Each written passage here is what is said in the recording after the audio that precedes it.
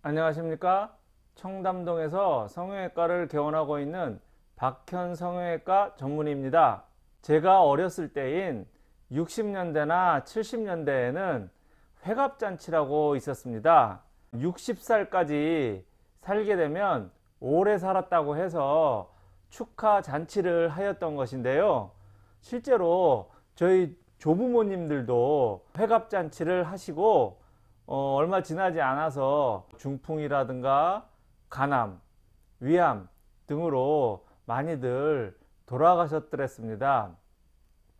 어, 저도 어, 몇 년이 있으면 어, 환갑이 돌아오는데 어, 갑자기 좀 많이 늙었다는 생각이 드네요. 연예인의 경우에도 어, 아줌마 아니면 할머니 소리 들을 만한 그 연세가 있으신 분들이 아주 얼굴도 팽팽하니 주름도 하나도 없이 활동을 많이 하시고 계신데요. 단순히 성형수술로 해서 이렇게 주름이 없어졌다고 해서 동안 연예인이다 라고 말을 듣기는 힘듭니다.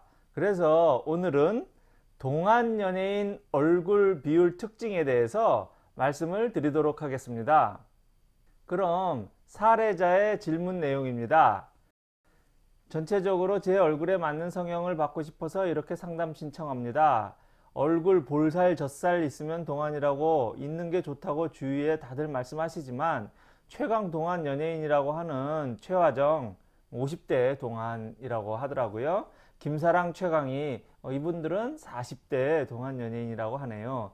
등의 연예인들을 보면 꼭 그렇지만은 아닌 것 같은데요.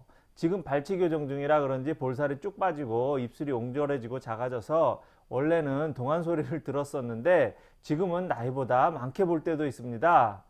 40대 동안 연예인이라고 하는 임수정 김사랑 씨를 보면 입술이 도톰하던데 하고 질문을 주셨습니다. 여기 사진에 보시면 애기 볼살하고 어른의 볼살의 차이점을 볼 수 있겠습니다.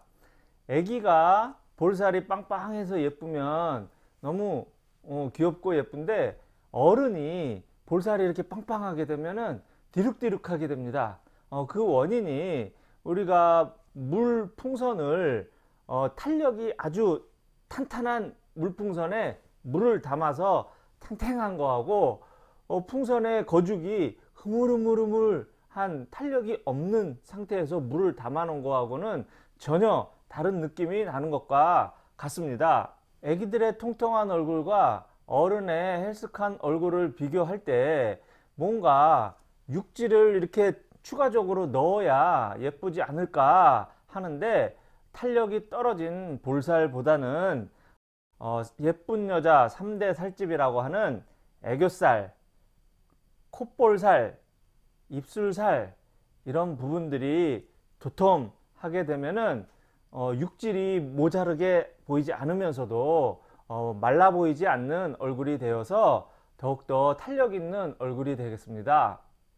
여기 사진에 보시면 지난번에 제가 미국 뉴욕 맨하탄 트리베카에 어, 콜맨 선생님을 2003년도에 찾아뵈서 지방이식을 배운 적이 있다고 말씀드렸습니다. 그 분은 전 세계적으로 지방이식의 첫째가는 대가이신데 그분의 나온 책에 의하면 어 이렇게 젊었을 때는 입술이 도톰하다가 나이가 들면서 어 주름이 생기면서 풍선에 바람이 빠지듯이 이렇게 어 입술이 어 조그맣게 되는 것을 볼 수 있습니다. 이러한 부분이 얼굴에서 동안을 결정 짓는 가장 중요한 부분인데요. 우리가 보통 눈주름을 제거하고 뭐 이마를 거상하고 그 다음에 팔자주름을 없애고 앞면을 거상하고 해서 주름은 하나도 없는데 얼굴이 왠지 나이 들어 보이는 얼굴들이 있습니다. 이러한 것에 대해서 제가 2016년 대한성형외과 학회에 페리오랄 링클 그러니까 입 주변의 노화로 인해서 어 아무리 주름이 없고 어, 판판한 얼굴이라고 하더라도 나이 들어 보인다 하고 발표한 적이 있습니다. 이 발표 내용을 보시면 그 입주위의 노화하고 그 다음에 입술 볼륨의 감소 그리고 여기 나온 바대로 네이잘 에이징 그러니까 코도 나이를 먹습니다.